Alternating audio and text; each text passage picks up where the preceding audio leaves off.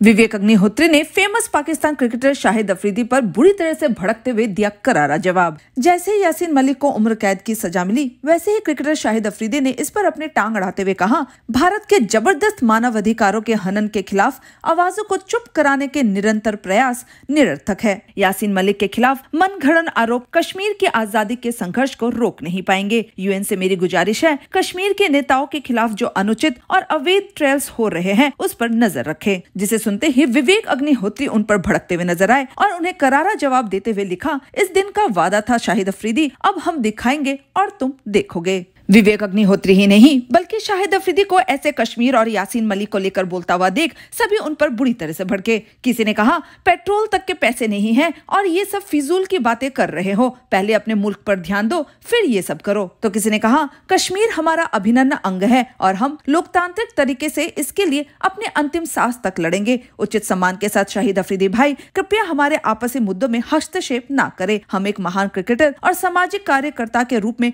आपका सम्मान करते हैं। तो किसी ने ये तक कह दिया पहले अपने रोटी का जुगाड़ कर लो, ये सब बाद में करना। तो आपका क्या है कहना इस पर? कमेंट पर बताइए और ऐसे न्यू अपडेट्स के लिए हमारे चैनल को सब्सक्राइब कीजिए।